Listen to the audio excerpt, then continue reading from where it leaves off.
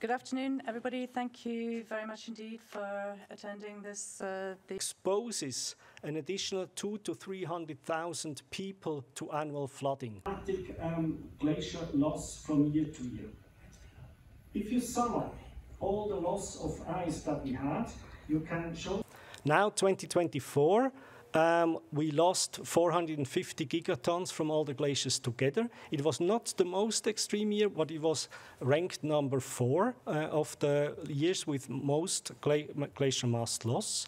And if you look at the past years, we actually had like the five most negative years on record we did have in the past six years. So you see this increasing dramatic um, glacier loss from year to year.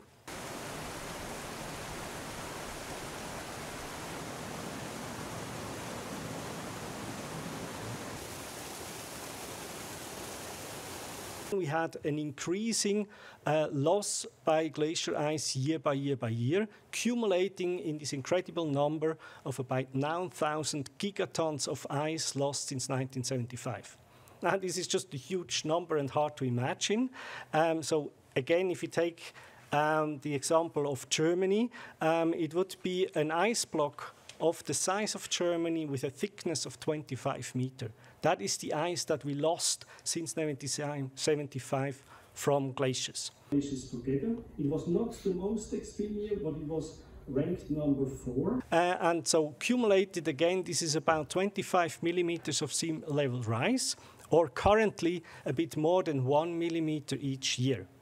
Now you might say one millimeter is not exactly a lot, doesn't sound much, right? But it's a small number with a big impact.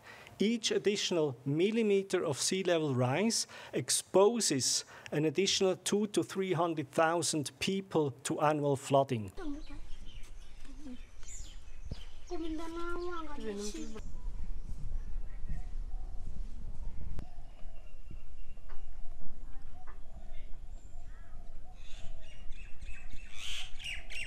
So that's bad news. Glaciers might disappear on the current um, melting rates in, within this century. Uh, but there's a second bad news. Even if these glaciers are gone, the glacier melt continues in the polar regions, will kick in, and so will continue to melt uh, and, and further increase sea levels uh, together with the ice sheets in the next centuries.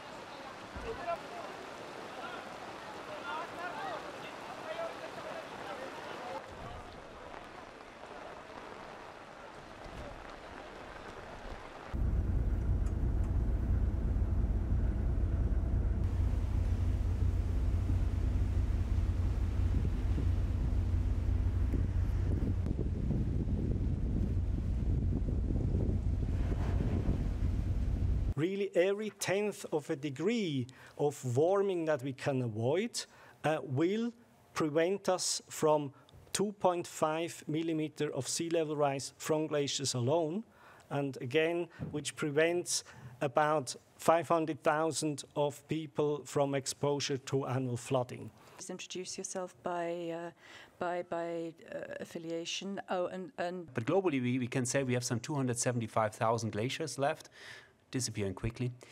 And um, in total, the glaciers, together with the ice masses on the ice shelves of Greenland as well as Antarctica, it's about 70% of all the fresh water is stored in, in the ice mass. Important to note is that WMO uh, only last month declared 2024 as the warmest year on record after a number of record breaking uh, months with highest uh, temperatures. And um, we can negotiate many things, and here at the UN we, we love to negotiate many things, but we cannot negotiate physical laws, and one is the melting point of ice.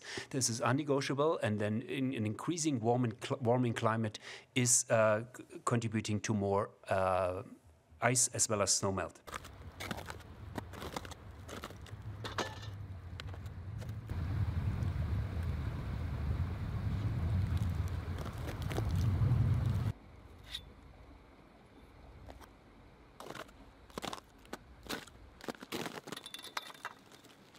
It's putting at risk the water supplies, it's putting at risk food security, energy, energy security, as well as the ecosystem services that, that water resources and other resources provide.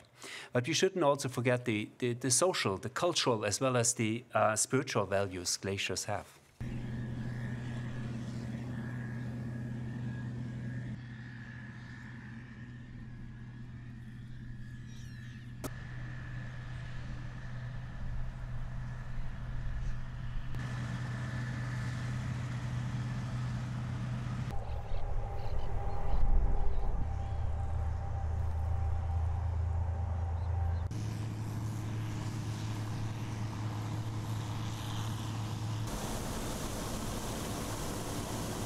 Preserving glaciers is not only an environmental uh, imperative, it's really a survival strategy.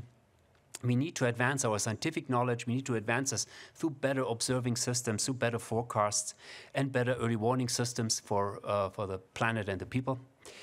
Um, only then we can protect our water supplies, the livelihoods of people, as well as ecosystems for future generation.